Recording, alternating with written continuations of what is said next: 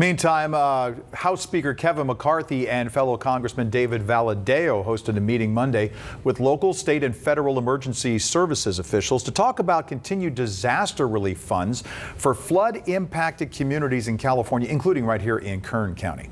McCarthy releasing a statement after the meeting that read in part, quote, I want to commend our dedicated emergency service officials and first responders. I will continue working in a bipartisan fashion with local, state, and national officials. Valadao added added in a statement that read in part, quote, flood response is not a political issue, and I'll continue working to ensure the Central Valley has the resources they need to prepare and recover.